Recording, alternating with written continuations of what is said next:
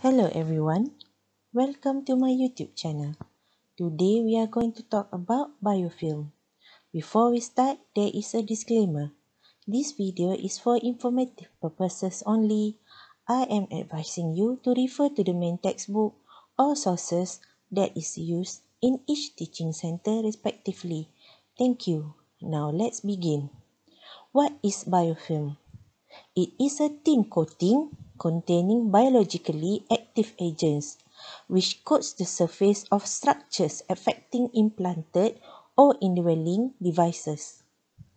It contains viable and non-viable microorganisms that adhere to the surface and are trapped within a matrix of organic matter.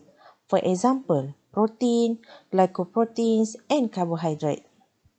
It consists of 15% of cells and 85% polysaccharide layer. Glucocalyx, also known as exopolysaccharide. Glycocalyx allows the biofilm to adhere to the prosthesis and seal of infection and protect bacteria from host immune system. Biofilm occur in four generalized stages, including 1. Bacterial cell attachment 2. Proliferation 3. Biofilm maturation 4. Detachment First, bacteria will attach to a substrate, example an implant material or segment of necrotic bone via surface adhesion molecules. Then the attached cell the attached cells will proliferate to expand the bacterial population and begin producing a matrix of extracellular polymeric substance EPS to protect the multi-layered community. As the biofilm matures, it becomes a complex structure containing protected pods of bacteria, as well as void spaces and intricate channels to facilitate nutrient and oxygen transfer through the bulk of biofilm. Finally, biofilm detachment or dispersal is a key step in enabling bacterial cells mass via fluid flow to a new and uncolonized regions of the host. What is quorum sensing? It is like a cell-to-cell -cell communication.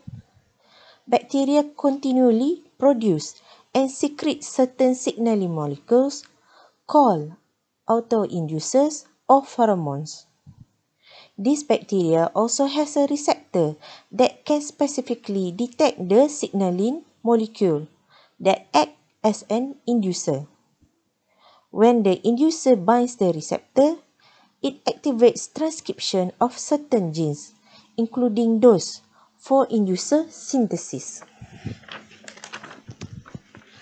As the population grows, the concentration of the inducer passes a threshold, causing more inducer to be synthesized. This forms a positive feedback loop, and the receptor becomes fully activated. Activation of the receptor induces the upregulation of other specific genes, causing all the other cells to begin transcription at approximately the same time.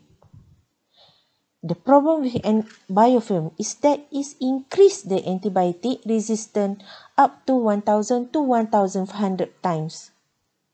It happens because bacteria become enclosed in biofilm matrix that protects bacteria from both the host, immune system and antibiotic in circulation.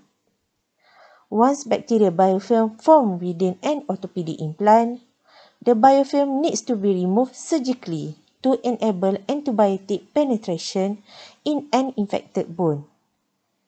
Example in an osteomyelitis case. Common bacteria producing biofilm are Staphylococcus aureus. Some additional note. The invasive success of Staph aureus infection can be due to A. Toxins secreted by the Staph aureus B. Adherence as a mean of immune evasion. C. Biofilm formation. D. Creation of slow-growing small colony variant, SCV. E. Development of antimicrobial resistance. Okay, that's all for today. See you next time. Bye.